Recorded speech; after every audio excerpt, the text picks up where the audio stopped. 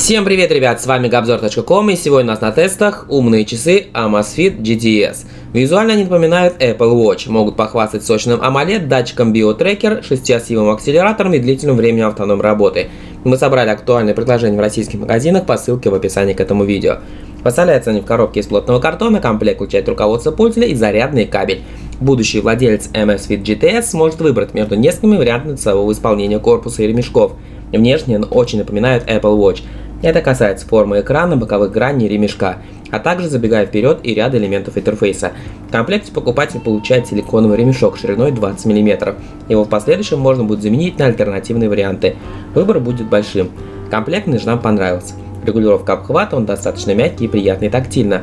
Корпус часов выполнен из алюминия, боковая рамка закруглена. По центру расположилась механическая кнопка управления. Лицевая сторона начинает стеклом Gorilla Glass 3, она устойчива к появлению царапин. Основание пластиковое, по центру расположены датчики контактной группы с магнитным креплением. Корпус часов защищен от попадания воды. Он выдерживает до 5 атмосфер. Изображение в Amazfit GTS выводится на 1,65 дюймовый дисплей с разрешением 348 на 224 пикселя. Это AMOLED-матрица, изображение хорошо читается под разными углами наклона. С ними можно комфортно работать под прямыми солнечными лучами, поддерживать сенсорное управление, на нажатие пальцами реагирует точно. В момент выхода обзора режим Always On не предлагается. Часы оснащены батарейкой с емкостью 220 мАч. На полную зарядку уходит 2 часа. За один при активной эксплуатации разряжается на 5-8% в зависимости от сценария. В целом по опыту эксплуатации получаем честные 2 дня автономной работы. Для тонкой настройки часов потребуется загрузка утилитных смартфон. При первом подключении проводится актуализация версии прошивки. Доступен экран с выбором циферблата, выбор хороший и он пополняется.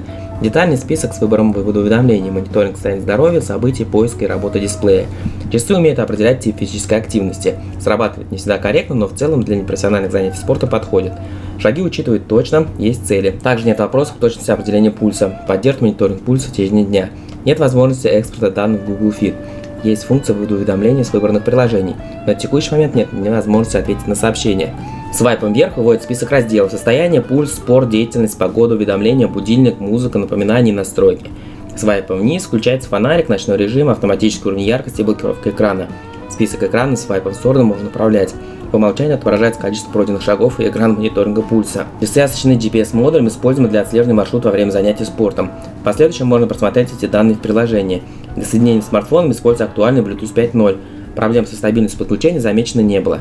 Amazfit GTS предлагает хорошее техническое оснащение, яркий дисплей, приятный внешний вид. Плюсом также отнесем защиту от воды, длительное время автономной работы. GPS, барометр, шагомер, пульсометр, продуманный интерфейс. Не устроить может отсутствие синхронизации данных с Google Fit и невозможность смены циферблата без смартфона. С удовольствием обсудим с вами Amazfit GTS. Всем спасибо за внимание и пока-пока.